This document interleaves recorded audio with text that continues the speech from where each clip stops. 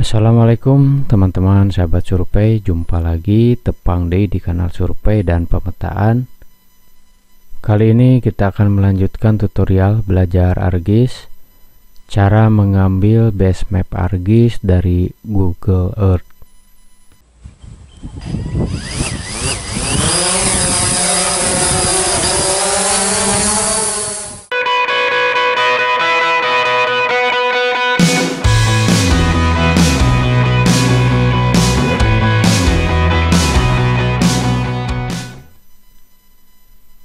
Oke teman-teman kita langsung saja. Kita tutup dulu untuk ArcGIS kemudian kita buka untuk Google Earth.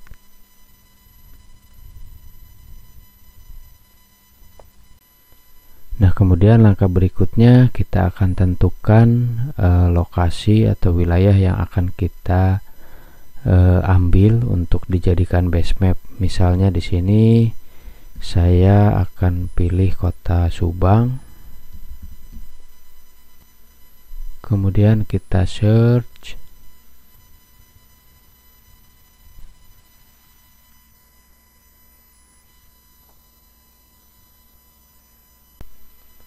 Nah setelah Google Earth ini terbuka teman-teman kita pilih My Place di sebelah kiri kemudian klik kanan lalu kita akan buat folder.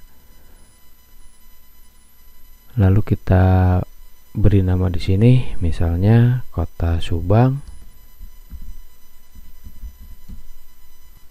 Lalu kita pilih OK Nah kemudian setelah folder kota Subang ini nampak di sebelah kiri sudah ada. Langkah berikutnya adalah kita akan buat titik-titik ikat untuk memudahkan uh, geoprocessing di ArcGIS kita bisa pilih di sini add flashback kemudian kita bisa beri nama di sini misalnya titik ke satu. Lalu simbolnya kita bisa pilih di sini. Kita gunakan yang ini saja untuk e, lingkaran. Kemudian kita bisa pindahkan juga. Kita pastikan ya di pojok-pojok uh, area yang memang kita akan uh, perlukan. Kemudian setelah itu kita pilih OK. Nah di sini sudah nampak satu. Berikutnya kita akan buat titik yang kedua.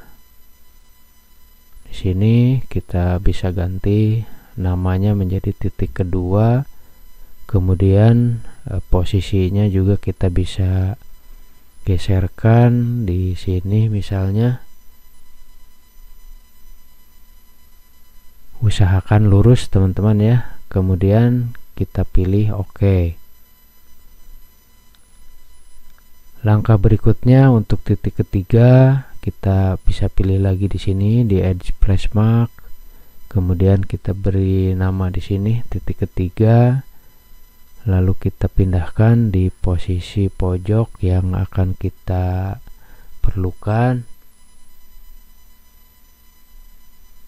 Misalnya di sini kemudian kita pilih OK. Kemudian kita buat lagi untuk titik yang keempat kita beri nama di sini titik keempat.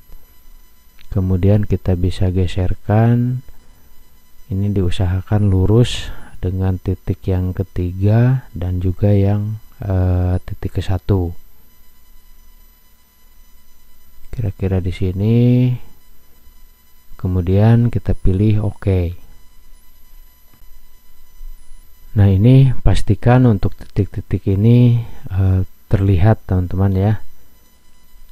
Langkah berikutnya kita akan simpan untuk titik-titik ini kita bisa pilih di sini di kota Subang folder kota Subang kemudian klik kanan. Lalu kita pilih di sini save place as. Kemudian kita tentukan folder penyimpanan. Di sini saya di folder D belajar argis base map. Kemudian di sini namanya kota Subang kita biarkan seperti ini. Save as tipe kita ganti di sini menjadi KML lalu kita save.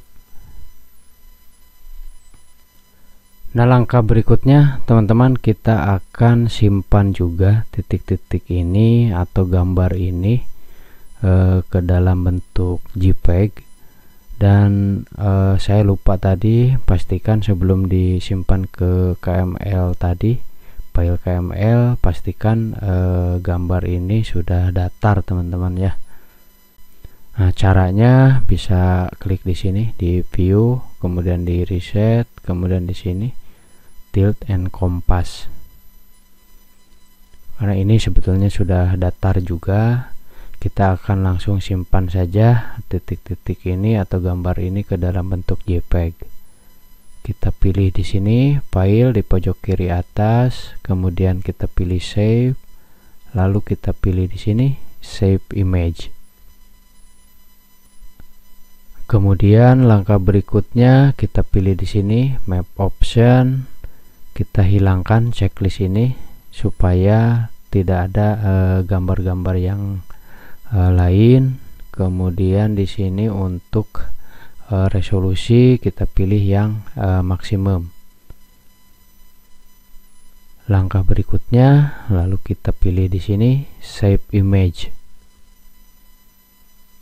Nah, di sini di folder penyimpanan yang sama, belajar ArcGIS, base map, kita beri nama di sini misalnya kota Subang. Pastikan save as tipe adalah JPEG. Kemudian kita save. Kita tunggu prosesnya.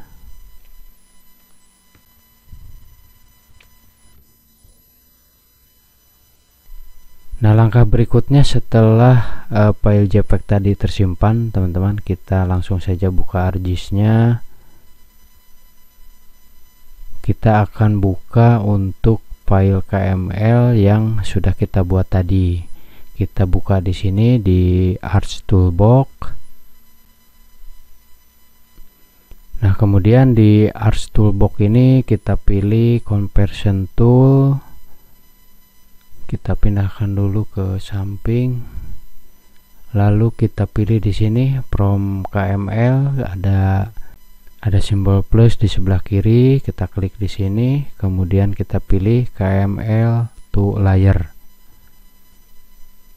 Kemudian kita double klik di sini KML to layer. Untuk input KML file kita bisa cari file yang kita buat tadi di sini di folder D belajar ArcGIS base map. Nah di sini ada kota Subang. Kemudian kita open.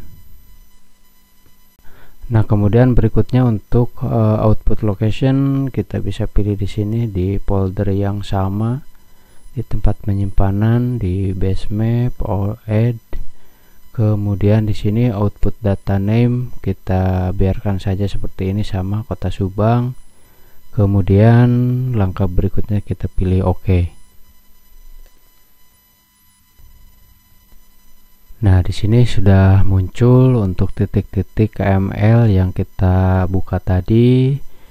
Kemudian langkah berikutnya kita panggil juga file JPEG yang kita buat tadi. Di sini add data kemudian kita pilih di sini uh, kota Subang JPEG nah ini.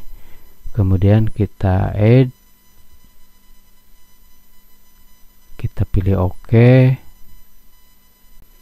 Nah ini sudah muncul. Hanya saja belum uh, overlay karena belum terikat dengan uh, file KML tadi.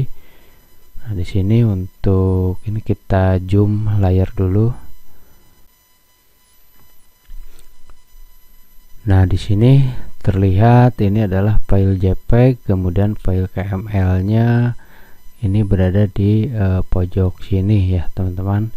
Nanti kita akan ikatkan uh, file JPEG ini atau titik-titik dari JPEG ini ke file uh, KML. Nah langkah untuk pengikatan titik-titik ini teman-teman pastikan kita di georeferencing. Kita klik kanan dulu di sini. Kemudian kita keluarkan georeferencing. Nah, di sini pastikan georeferencing kota Subang JPEG. Nah, langkah berikutnya untuk pengikatan kita bisa zoom dulu di sini untuk titik yang pertama. Kemudian kita pilih di sini add control point. Pastikan di sini di tengah-tengah, teman-teman ya. Kita klik, kemudian kita kecilkan lagi di sini. Lalu kita pilih untuk titik yang pertama Nah, ini adalah titik yang pertama. Kita satukan di sini untuk titik yang pertama. Kemudian kita kecilkan lagi.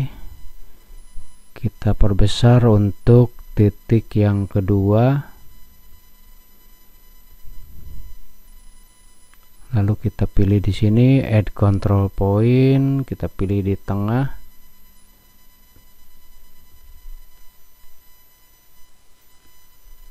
lalu kita kecilkan lagi. Kita zoom untuk titik KML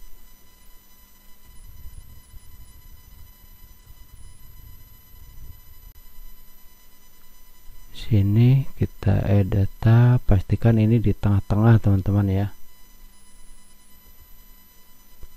Lalu berikutnya untuk titik ketiga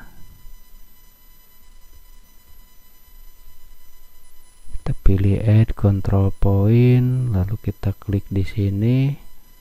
Kemudian kita klik di sini di titik KML titik 3 lalu berikutnya kita kecilkan lagi. Kita zoom untuk titik keempat Nah, di sini kita pilih add control point, pastikan ini berada kira-kira di tengah-tengah ya. Kemudian di sini kita pilih yang uh, titik KML keempat.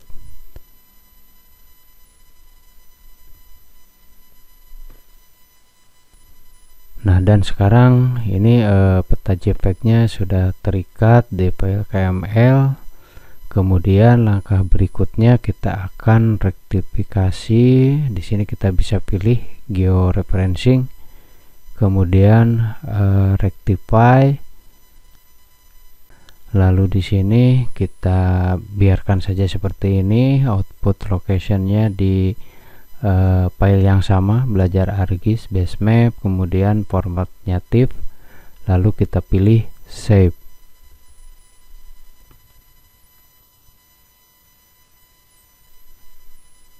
Lalu langkah berikutnya setelah rektifikasi kita pilih kembali di georeferencing kemudian kita update georeferencing.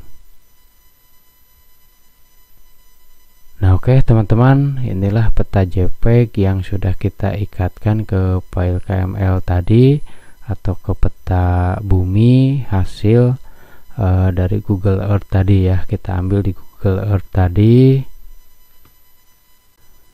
Nah selanjutnya untuk digitasi teman-teman bisa uh, lihat di video-video sebelumnya ya. Ini ada langkah-langkah untuk atau perintah-perintah yang biasanya digunakan untuk digitasi seperti snapping ataupun membuat uh, yang lainnya. Nah baik teman-teman demikian untuk tutorial kali ini. Belajar ArcGIS cara mengambil base map ArcGIS dari Google Earth Sampai jumpa di tutorial berikutnya. Jangan lupa like, subscribe, ataupun komentarnya ya. Terima kasih sudah menjadi bagian dari channel ini. Salam survei.